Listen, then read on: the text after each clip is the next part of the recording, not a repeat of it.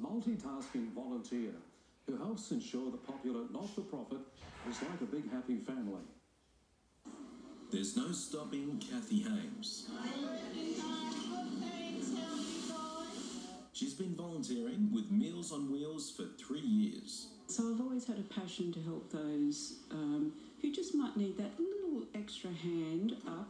Cathy's a force of nature, full of enthusiasm and showing no signs of slowing down.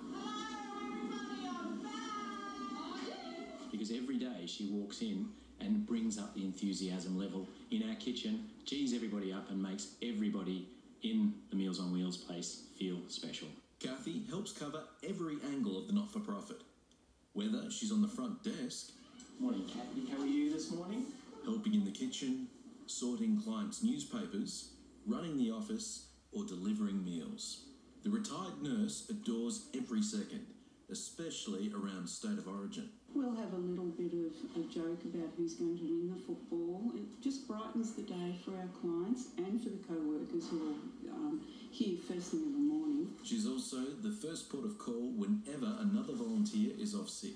And even rings in off the golf course to find out if anybody hasn't shown up at any point in time to backfill somebody. And it just makes you warm and fuzzy inside to know you bring a smile to someone's face. If you'd like to join the fun, Meals on Wheels is always looking for plenty of more keen volunteers. Simon Nichols, 7 News. Good on you, Cathy.